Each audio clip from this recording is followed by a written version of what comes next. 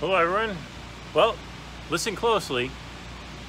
You're hearing all sorts of noise. All that noise is power generators in our neighborhood. And that's what I want to talk about on this video. Yes, power generators. No, not really. I want to talk about my setup here and what I was able to test. I was able to test the portability that is running off a battery in the field because you know I, have got this astronomy shed and I've got this set up and I run it on the power from my house but I can take this in the field as well. Anyways my name is Kurt Zeppetello and you're watching AstroQuest 1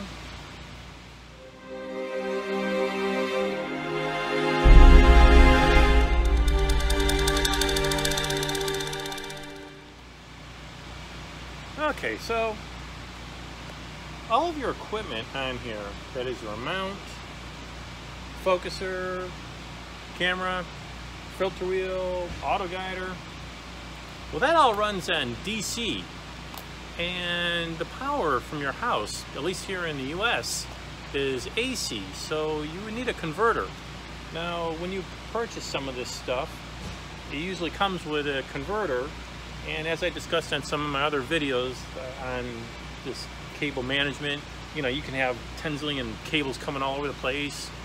And what I did was I got this Pegasus Pocket Power Box, which is, can't say enough good things about it. But anyways, all your equipment runs directly into this Pegasus Power Box. And then you would just have one power cable coming down going into that converter that I was talking about. It's down here, I don't know if you can see it. So this is that AC DC power converter. One power converter rules them all, just like one ring rules them all. Um, anyways, so what happened is we had a big storm, the big uh, hurricane uh, that came through. Well, we, we, it was a tropical storm by the time we got it. But anyways, it whacked out our town, and so I'm without power right now. Nor do I have internet. But we had some clear nights. So I was like, oh no, what am I gonna do? Well, no problem.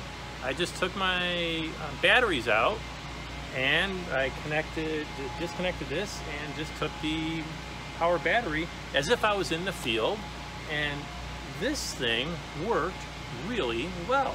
It, it, it behaved flawlessly. So that's a good thing about this. And I, as I said, I designed this whole thing to be portable should I want to go to a, a dark site but I never had the opportunity to test it out and thanks to the power outage I had the opportunity to test it out. Yeah, see I can, as I said, I can take this whole thing, you know, just off real simply and drive it out or I can, even if I take it apart, I have it so the rings can be disconnected from the telescope and this whole thing stays as one unit. So it would be real easy to connect back up.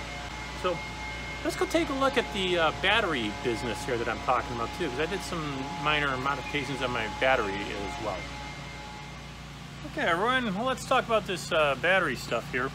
This is a deep cycle marine battery. This is the kind you want for to run your power equipment because it uh, holds the same charge throughout the night. And this one happens to be 12 volt, uh, 20 amp hours. I have another backup one here same idea, only this is uh, 12 amp hours. So it's not it's not as going to last as long. This is just a backup. I hardly ever use that one. So what I did with this battery is I actually got this little adapter here from a battery electronics store. So I have the these things screwed into the terminals so nothing will become disconnected accidentally in the field. You don't want that to happen. And this connects up to your normal cigarette lighter. Okay, now what does this cigarette lighter connect up to? This cigarette lighter connects up to this little adapter that connects right into the Pegasus power box. This came from Pegasus. So you plug this into the power box and then this thing connects right down in here and you're good to go. And since the Pegasus power box runs everything, uh, I'm all set. That's all I had to do. Okay, so I've got this. What else do I have over here? These are some other odds and ends that I picked up over the years. Uh, these are, this is just uh, alligator clips with a cigarette lighter. This is what I used to use before I got this adapter. The risk you run with this thing is uh, these things might come on become unclipped somehow. So that's why I have this thing so it's screwed in. Uh, this thing's the adapter I used to use. This just connects up the mount. So I, I used to just use the battery to run the mount, and then this thing connects up to the mount. The Atlas Pro or the Sirius, whichever mount that I'm using. If you buy one of these deep sea, deep sea, deep um, cycle batteries, you want to keep it charged. And what I use is this, uh, it's called the Battery Buddy. Basically, it's one of these trickle uh, chargers. So it doesn't charge, it takes a real long time to charge it up. It takes like 10, 12 or longer hours to charge it up. But it's also a storage device. So when I'm not using this, as I said, I hardly ever use this thing. I think once a year maybe, maybe even less than that. So how do I keep this thing charged? Well, you just put it on this trickle charger once a month. Even though if it doesn't need it, even though if it says it's full, just leave it on here for a little while, not a couple hours or so, uh, just to keep it um, charged up. The other thing you want to have, um, well, that's actually all the main necessity items. Now, I do have this thing over here, and this is a power inverter. You guys can see it. And you can stick this in this cigarette lighter, and it actually has plugs. It actually has some USB ports too, which could be handy. Now you might say, geez, why don't I just get one of these things and connect up the battery and I could just plug that other stuff in here. Well, I don't recommend running all your equipment off of something like this because remember, all your equipment on your telescope is DC. The battery is DC. If you connect this thing up, you're taking this DC battery, converting it to AC, plugging all that stuff in here, and then you need another AC-DC converter again. Uh, so you're, you're, it's very inefficient doing that. So you don't want to do that. Just keep it DC if it's already at DC. I have this just for giggles, I guess, uh, if you will, um, in case you need it for some other odds and ends, like this, for example. Uh, this will run my blow dryer. And for those of you in astrophotography, you know what a blow dryer is, is good for in the field. It's dew in case you know get dew buildup or something else. You know, so you can run other stuff off here. Maybe the computer, I don't know, whatever.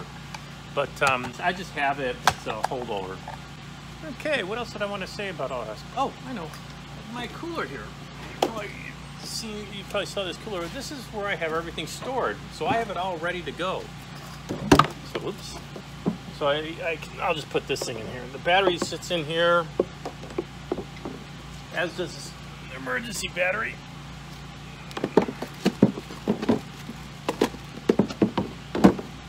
I'll just leave everything.